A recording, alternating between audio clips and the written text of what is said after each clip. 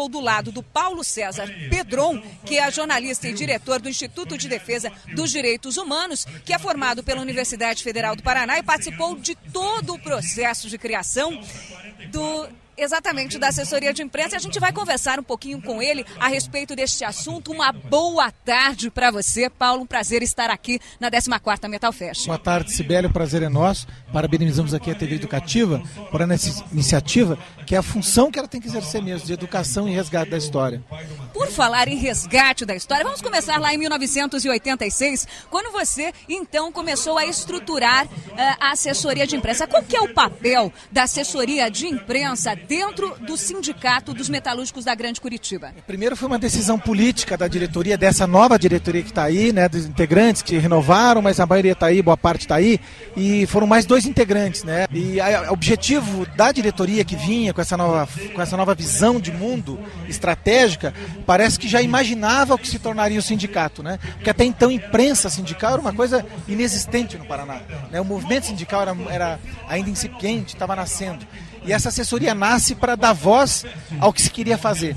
E aí, a, eu, o que eu sempre digo da visão desses dirigentes sindicais que estão aí até hoje, Sérgio Bútica, todo o pessoal aí, em nome dele, falo da diretoria inteira, é de contratar um professor da USP, Sérgio Gomes, em jornalismo popular, para me formar e formar os meus, meus colegas, para comunicar melhor com a categoria, mostrar, uh, ganhar espaço na sociedade paranaense e dar força ao trabalhador. Aliás, esta questão com a categoria, como é que era feita a comunicação com as com a categoria antes da assessoria de imprensa. Porque muita gente conhece um pouquinho de assessoria de imprensa, acha que a assessoria de imprensa é só a relação, por exemplo, do sindicato com os veículos de comunicação. E, na verdade, o trabalho é maior ainda, se faz também com as categorias. Como é que era antes? Faz um, faz uma, um comparativo, por favor. Olha, o material que a gente tem à disposição do sindicato é muito pouco antes da nossa assessoria, antes da nossa chegada.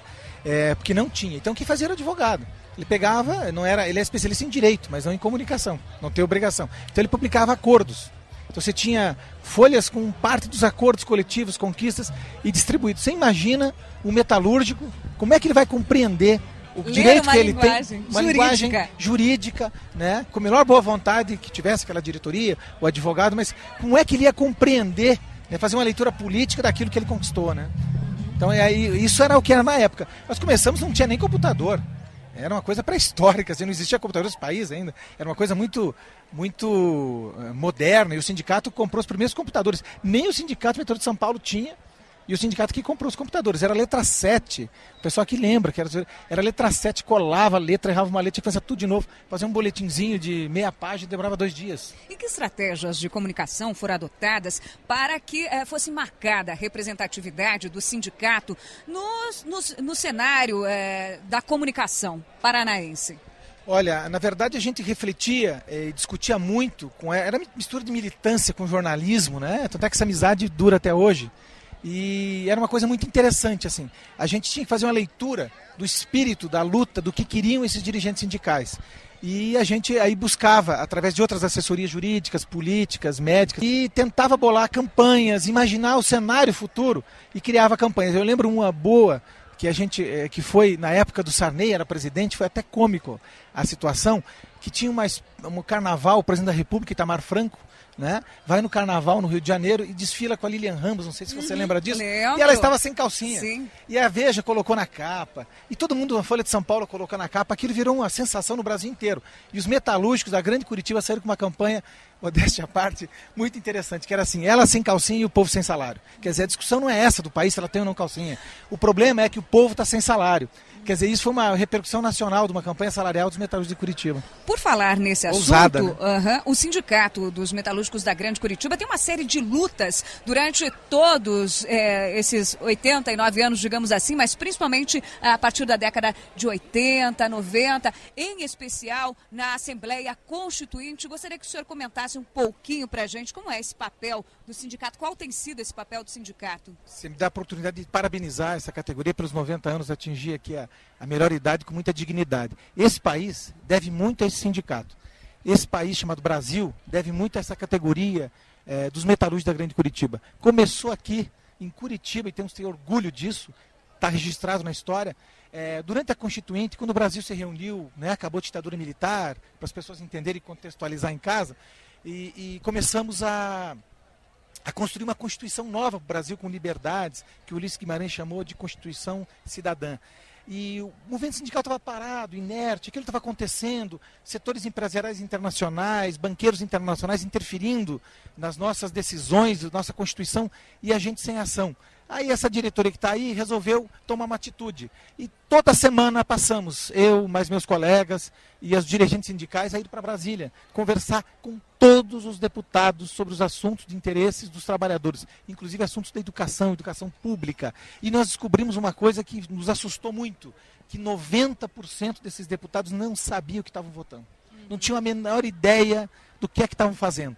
E através dessa ação do sindicato, muita Muitas dessas leis que estão aí, que são direitos dos trabalhadores hoje, se deve ao início, né? não, não, foi, não fomos só nós, mas começou aqui nesse estado, aqui nessa cidade, nessa categoria profissional, as grandes conquistas da Constituinte de, do, do, Brasil. Vamos puxar um pouquinho para a história do Paraná. Na década de 90, nós tivemos a relativização de vários direitos trabalhistas. É verdade. É que foi essa parceria entre o governo do Paraná e o sindicato uh, contra a re relativização e também do surgimento de sindicatos paralelos para enfraquecer as categorias? Olha, essa decisão da TV educativa que a gente vê colocando a população, o povo na TV, né, com esse caráter educativo, ela não vem de agora. Né? Graças a Deus. No primeiro governo Requião, nós tivemos um movimento dessa relativização que você fala, dos direitos, é, absolutamente maléfica para o país. Começava o neoliberalismo no mundo, ah, a flexibilização dos direitos, aquela discussão toda. E ah, começou no, em Curitiba, que é um grande laboratório, a cidade de Curitiba, para o Brasil inteiro, em muitas coisas, em propaganda, em muitas, em muitas coisas, né? Começou uma experiência, porque o sindicato não se organizar, os trabalhadores, vocês vão ver o doutor Zurrer falando aqui da luta pela saúde do trabalhador, isso começou a incomodar os setores mais conservadores e mais ruins do nosso empresariado, né? os setores mais conservadores. E aí começaram a criar alternativa. Bom, não podemos comprar o sindicato. O que vão fazer? Vamos fazer um sindicato paralelo. E começaram a montar sindicatos paralelos de trabalhadores, os empresários, parte deles. Né? Tem o Seletroar, que está até hoje aí, né, que foi montado em cima disso. É uma opção política de empresários. Então, né? quer dizer, e o governo nessa, nessa. nós tivemos o apoio de uma figura fantástica, foi o governador Roberto Requião, que foi na Assembleia, a primeira vez na história desse país que um governador vai na Assembleia de Trabalhador e dá o apoio do governo do Paraná para isso. A grande mídia, ela entende o trabalhador na sua avaliação?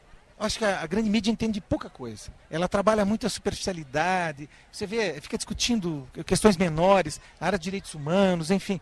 É, as grandes questões, a, a, grande mídia não debate por interesse em não debater. Não que não tenha condições, mas não quer debater.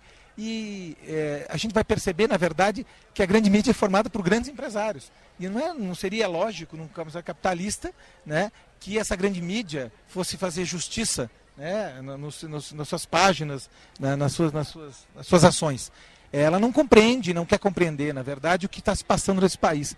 Se tivesse um pouquinho mais de generosidade, ela entenderia que se o Brasil está de pé ainda, se nós somos de pé, somos uma nação, não é por conta de setores conservadores que estão aí, mas é por conta dos setores organizados e dentre eles os, os trabalhadores. Como é que o senhor avalia uh, o acesso dos movimentos sociais à mídia? A, a, mídia, de maneira geral, é muito resistente né, aos setores. A, a, a, eles valorizam muito mais o capital, ela reproduz o capitalismo.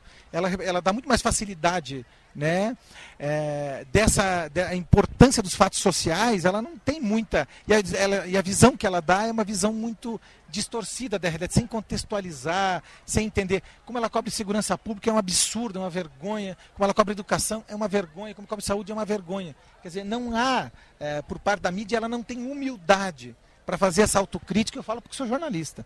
Né? Não tem humildade para fazer autocrítica e dizer, pô, precisamos melhorar a informação da população.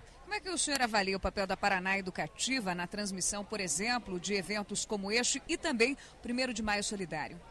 não só eventos como esse, eu acho muito bom. É, é, o papel da TV Educativa, né? E por isso ela merece os nossos parabéns. Mais do que isso, eu vi alguns debates na TV Educativa sobre energia, sobre assuntos que eu não vejo em lugar nenhum né? E, e, e sobre é, biodiversidade, enfim. Tem um programa é, Nação Brasil, acho que o Nizam que apresenta, muito bom. Traz Brasil pessoas Nação. que estão. Brasil Nação, que está é, fora. Nacionalidade tá fora, brasileira do Nizam e Brasil Nação do Beto Almeida. Então, é, é, são grandes temas que se levantam de pessoas, grandes estudiosos desse país, que ficam fora da mídia.